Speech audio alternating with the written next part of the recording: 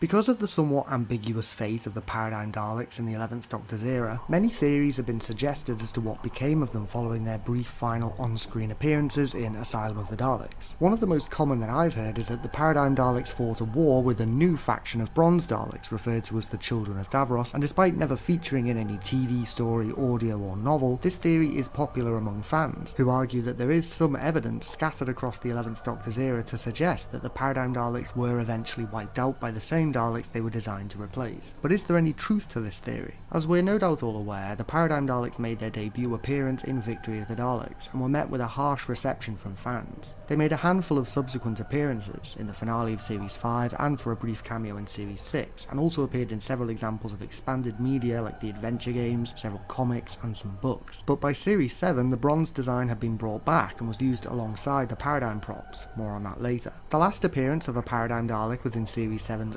opening episode, after which they were never seen again. Daleks did appear in the 11th Doctor's final episode, but the only Daleks we see on screen are bronze Daleks with no Paradigm Daleks in sight. So fans were left to speculate as to what became of the Paradigm. All the while though, an interactive show at the Doctor Who Experience suggested a potential explanation for the Paradigm's abrupt downfall, a civil war between the new Daleks and another faction of bronze Daleks, who refer to themselves as the Children of Davros. This is an exciting prospect. Fans love a Dalek civil war, and the Paradigm design was considered to be universally unpopular at the time, so it made perfect sense to include as part of the exciting Doctor Who experience, particularly since the show itself had been somewhat reluctant to progress the Dalek story at that time. However, it is worth pointing out that the show itself has never mentioned a civil war between the Paradigm and the Bronze Daleks. In fact, in order to depict the children of Davros at the Doctor Who experience, archived footage of Dalek Sec and other members of the Cult of Skaro were used. We can see some tiny hints that suggest this conflict may have occurred in universe, however.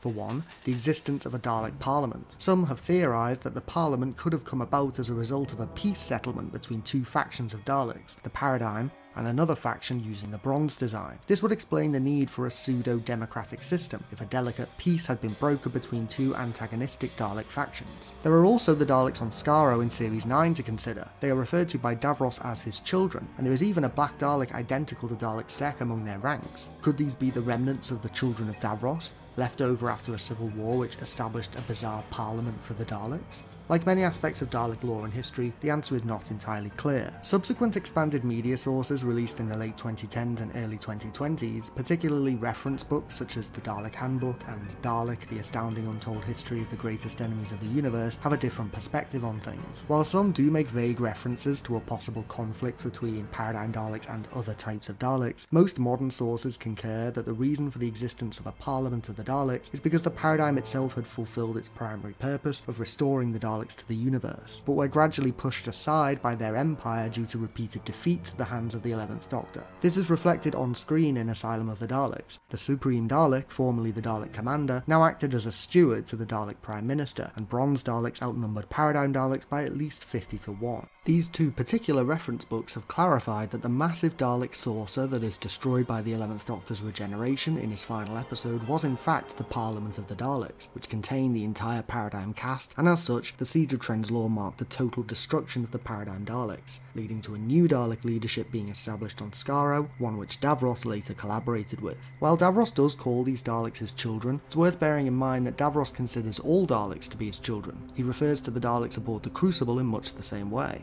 Ultimately, however, the truth behind the rumours of a civil war between Paradigm Daleks and Bronze Daleks is unclear. There are multiple conflicting accounts, and the evidence scattered throughout the Dalek episodes of the mid to late Moffat era could point to a number of potential explanations for what happened to the Paradigm. The most reasonable explanation seems to be that there may have been a short-lived war between the Paradigm Daleks and other Dalek factions, but if such wars ever occurred, they were not directly responsible for the Paradigm's downfall. Having said that, if these conflicts did lead to the establishment of the Dalek Parliament, then they could be considered to be the beginning of the end for the paradigm, as it was the establishment of this new mobile leadership body that inadvertently allowed the majority of the paradigm Daleks to be wiped out over Trenzalore. What do you think? Do you think there was a civil war between the children of Davros and the paradigm Daleks? Do you think we'll ever see paradigm Daleks in the show again? Let me know in the comments below.